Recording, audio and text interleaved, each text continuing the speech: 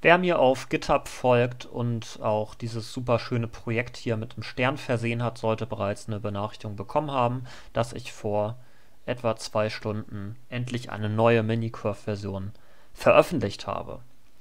Die große Änderung hier, man kann es auch schon hier lesen, ist, dass jetzt Chunks und damit die Welt generell gespeichert wird und sich auch wieder laden lässt. Also ich habe jetzt hier ein paar Sachen gebaut. Wenn ich jetzt die Datei neu lade, indem ich auf Aktualisieren klicke, ist immer noch alles da. Das ist sehr schön, weil man jetzt endlich das, was man hier baut, behalten kann und sich deswegen auch etwas mehr Mühe geben würde, vielleicht beim Bauen. Äh, es sieht jetzt auch etwas schöner aus, also die Sichtweite, die wird jetzt strikt eingehalten, weswegen wir jetzt so schön Kreis haben. Also um die Kamera herum ist eine Kugel, die als Radius die Sichtweite hat. Und alles, was außerhalb der Kugel ist. Also die Kugel selbst ist blau. Dieses Blau, was man hier sehen kann, das ist die Kugel. Ja, das funktioniert sehr schön. Man kann auch hier, konnte es zumindest eben erkennen, wie die Chunks geladen werden. Und ich möchte erstmal etwas eingehen darauf, was für Ressourcen das verbraucht und dann auch etwas den Code dahinter zeigen. Also erstens, wenn wir auf F3 drücken, wie immer, können wir hier oben links erkennen, dass das die Version 020 ist. Ich habe also das Minor, äh, die Minor-Stelle angepasst, erhöht und nicht die Patch-Stelle, weil das jetzt eine große Änderung ist, finde ich dann können wir hier erkennen, dass jetzt gerade 256 Chunks insgesamt in dieser Welt sind und davon sind alle geladen. Wenn ich jetzt den Spieler hier bewege, zum Beispiel mal in einen, in einen anderen Chunk, sieht man, dass die Zahl sich verändert, also die linke Zahl, die Zahl der gerade geladenen Chunks, weil nämlich ja schon mal die Chunks vorgeladen werden, die man dann am Horizont erscheinen sieht. Das war ziemlich kompliziert, auf diesen Algorithmus zu kommen, wie ich das am besten machen kann. Es läuft sehr flüssig, wie man sehen kann. Und jetzt möchte ich mal kurz die Ressourcen zeigen, die das Ganze braucht. Also erstmal sieht man hier bei M diese ganzen Chunks, die geladen sind, die nehmen alle insgesamt jetzt gerade einen Megabyte weg oder ein Mebibyte, Mebibyte oder wie man das ausspricht. Also 1024 Kilobyte. Und bei den Entwicklertools kann man erkennen, dass die gespeicherten Chunks auch nicht allzu viel wegnehmen. Also gespeichert werden die Chunks, äh, wer schon mal in einen Minecraft-Level-Ordner reingeguckt hat, erkennt das Format wahrscheinlich wieder. Es ist einfach jeder Chunk in einem einfachen Eintrag hier gespeichert und weil man nur Textdaten in diesen Dingern hier im Browser speichern darf, habe ich mir einen Kompressor genommen, der diese Binärdaten, also der, die Chunks mit den Block-IDs drin, komprimiert und dann in so einem äh, jetzt nicht gut anzeigbaren Text, aber es ist trotzdem ein Text, der hier abgelegt werden kann, speichert. Dann können wir hier mal sehen, wie viel das jetzt gerade wegnimmt. Alle Chunks, die jetzt gespeichert sind, belegen gerade 1,3 Megabyte. Das ist relativ wenig, finde ich, dafür, dass ich hier schon ziemlich viel rumgespielt habe und die Größe der Chunks ändert sich ja nicht abhängig davon, was man reinbaut. Ich hätte jetzt auf diesem Platz hier schon andere Sachen bauen können. Das ist tatsächlich aber ein Problem, dass der Local Storage, den ich verwendet habe, begrenzte Größe hat. Man kann das ändern. Man kann bei Chrome zum Beispiel äh, About Flex oder so heißt das, müsste man mal nachgucken. Da kann man irgendwo das Limit aufheben, dass man zum Beispiel ein Gigabyte hat und dann ist es egal, wie viel man hier gespeichert hat. Das ist also der Verbrauch der gespeicherten Chunks des Speichers hier. Und jetzt komme ich dann mal zum... Ach ja, ich komme noch vorher zu einer anderen Zahl, die man sich angucken könnte, nämlich wie groß ist denn jetzt das Spiel.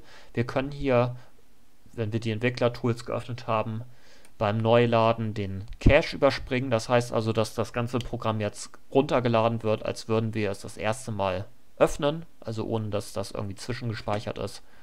Und man kann sehen, es hat wie lang gedauert? Etwa eine Sekunde.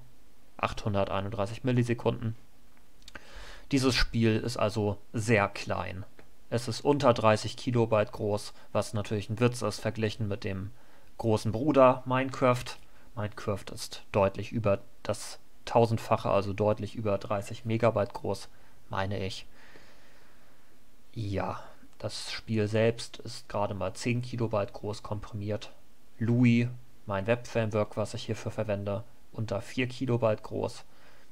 Die ganzen Assets, also die, Med äh, die Mediendaten, also die Texturen in diesem Fall nur, die sind auch enthalten in der App. Mal sehen, ob ich das irgendwo hier zeigen kann. Ja, hier. Also die Textur, äh, das ist keine Bilddatei, die extra geladen wird, sondern das ist eine Bilddatei, die eingebettet ist in der App.js. Und trotzdem unter 10 Kilobyte. Ja, trotzdem unter 10 Kilobyte, obwohl ich äh, für die Chunk-Komprimierung einen Kompressor mit reingetan habe. Hier habe ich eine Ausnahme gemacht. Ich habe den nicht komplett selbst entwickelt und erfunden, sondern ich habe den von jemandem übernommen. Nämlich von dem hier. Job Leonard kenne ich nicht, aber der hat einen Kompressor in JavaScript geschrieben, der beliebige Binärdaten, also eine Ansammlung an Bytes, in einen Text rein komprimieren kann und diesen Text kann man dann in diesen Local Storage ablegen. Den habe ich deutlich überarbeitet, dass er noch viel kleiner ist, der Kompressor. Und am Ende ist der nur knapp über ein Kilobyte groß in meinem Code. Vielleicht sogar kleiner. Ich habe nicht so genau nachgeguckt. Auf jeden Fall ist er am Ende sehr klein und auch sehr schnell, was man ja daran sehen kann, wie schnell man hier, wenn ich das jetzt lade, die Chunks geladen sind. Schön schnell. Ja, eine weitere Änderung. Gibt es eine weitere Änderung? Ja, eine Kleinigkeit. Nämlich man kann jetzt auf R drücken und landet dann beim Spawn.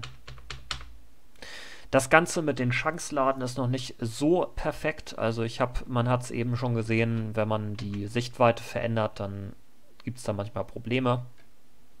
Ich kann das dann nochmal gucken, ob das jetzt immer noch passiert. So, ich mache jetzt mal auf maximal die Sichtweite. Na, jetzt geht es aber schon. Eben hat das ein bisschen gehakelt. Diesmal ging es problemlos. Die Sichtweite ist jetzt auf maximal, das sind 128 Blöcke. Und jetzt sind die ganzen Chunks 4 Megabyte groß, also zusammen im Arbeitsspeicher. Und die Sichtweite ist schön groß und das Ganze ist schön schnell. Das liegt aber auch ein bisschen daran, dass ich hier eine geringe Auflösung habe. Also das ist jetzt ein alter Computer von 2009 immer noch einigermaßen spielbar. Was passiert, wenn ich das jetzt hier wegmache? Jetzt ruckelt es wahrscheinlich. Ja, 7 FPS, das würde viele jetzt schon sehr abschrecken. Wie sieht es aus mit 10? Also wenn wir eine Skalierung von 10, also dass jeder Pixel 10 mal 10 Bildschirmpixel wegnimmt. Jetzt ist das wieder schön flüssig bei einer ziemlich großen Sichtweite. Hier könnte man also schon jetzt eine schöne Stadt bauen. Ja, das war mein tolles Vorstellungsvideo. Und über Rückmeldungen würde ich mich sehr freuen, falls jemand irgendwelche Verbesserungsvorschläge hat oder Fehler gefunden hat. Ein Fehler habe ich selbst schon gefunden. Dann freue ich mich darüber.